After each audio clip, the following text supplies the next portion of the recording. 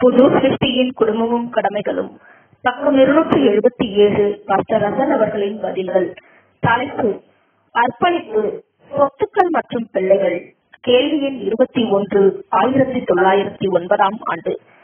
அர்ப்பணப்பணியுள்ள ஒருவர் தன்னால் அர்ப்பணிக்கப்பட்டுள்ள சொத்தினுடைய எந்த ஒரு பாகத்தை ஏனும் பிள்ளைகளுக்கோ அல்லது சுதந்திரவாளிகளுக்கோ உரிமையாக கொடுக்கும் உரிமை பெற்றிருக்கின்றாரா?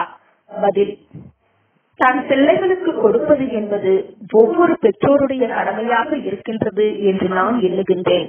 உதாரணத்திற்கு உங்களுக்கு ஆறு பிள்ளைகள் இருக்கின்றனர் என்று வைத்துக் கொள்ளுங்கள். மற்றும் பிள்ளைகளில் சிலர் மிகவும் சிறு பிள்ளைகளாய் இருக்கின்றனர் என்று வைத்துக் கொள்ளுங்கள். அவர்களிடத்தில் பெற்றோர்களென நீங்கள் கடமை ஒன்றினை பெற்றிருக்கிறீர்கள். நீங்களே அவர்களை உலகத்திற்குள்ளாக கொண்டு வந்தீர்கள். மேலும் அவர்களின் விஷயத்தில் சில பொறுப்புகளை அதிலும் விசேஷமாக அவர்கள் தங்கள் தங்கள் தேவைகளை சந்தித்துக் கொள்ள முடியாத வயதுள்ள காலங்களின் போது சில பொறுப்புகளை நீங்கள் பெற்றிருக்கின்றீர்கள். ஒருவேளை நான் ஏதேனும் பிள்ளைக்கு தகப்பனாய் இருந்தேனே ஆகில் என் பராமரிப்பின் கீழ் நான் சம்பாதித்து பெற்றிருக்கும் சொத்தில் சில பங்கினை பிள்ளைகளுக்கு கொடுப்பது சரியே என்று எண்ணுவேன்.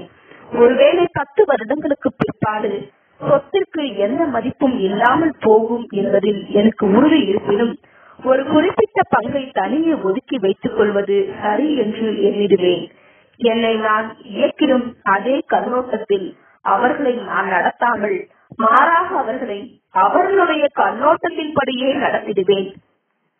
இவ்வளவுதான் கேள்வி என்று நான் எண்ணுகிறதில்லை. ஒருவேளை ஒரு தகப்பன் அதிகமான பணம் வைத்திருப்பாரானால் அவை தன்னுடைய பிள்ளைகளுக்கு உரியது என்றும் அவர்களுக்கு பங்கிட்டு கொடுத்துவிட வேண்டும் என்றும் எண்ணிட வேண்டுமா? இது வேறு விதமான கேள்வியாகும். தங்களுடைய தேவைகளை சந்திக்க முடியாதவர்களுக்கு தேவைகளை சந்திப்பது என்பது ஒரு காரியமாகவும் பணத்தை கொடுத்து விடுவது வேறொரு காரியமாகவும் இருக்கின்றது. நாம் தேவனுக்கே கணக்கு கொடுக்க வேண்டுமே ஒழிய நம் பிள்ளைகளுக்கு அல்ல. இவை இரண்டும் வெவ்வேறு காரியங்களாகும். உங்கள் பிள்ளைகளுக்கு பராமரிப்புக்கு தேவையாயிருக்கும் காலப்பகுதியில் உங்கள் பிள்ளைகளுக்கான பொறுப்பாளிகளாக தேவன் உங்களை ஆக்கியிருந்தார். மற்றும் நீங்கள் அவர்களுக்காக சில ஏற்பாடுகள் பண்ணிடவும் அவர் நோக்கம் கொண்டுள்ளார். ஆமேன்.